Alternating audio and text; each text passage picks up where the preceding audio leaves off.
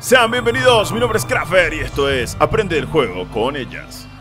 Hoy la cámara espía nos trae una jugada de Global Emerald Team. Ellas eligieron Lotus, el mapa más reciente que tiene el competitivo. Su composición incluye doble iniciador de la mano de Breach y Soba, Omen, Killjoy y Raze como su duelista.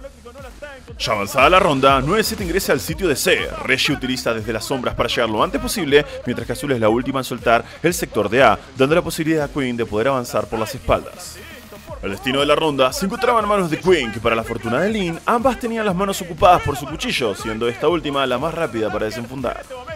Por otra parte, Diana ponía la balanza a su favor con una doble eliminación, con lo que no contaba era que la baja de Queen era el punto faltante para disponer del tumba divas. A punta de cargas explosivas, el ingreso de Rey otorga el tiempo suficiente para que Fantastic logre desactivar la mitad de la Spike, quedando en una situación de 1 vs 2 gracias al impacto de su definitiva.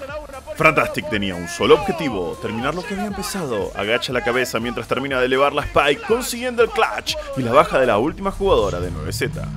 Las chicas nos mostraron cómo se juega el nuevo mapa de Lotus. ¿Vos aprendiste el juego con ellas?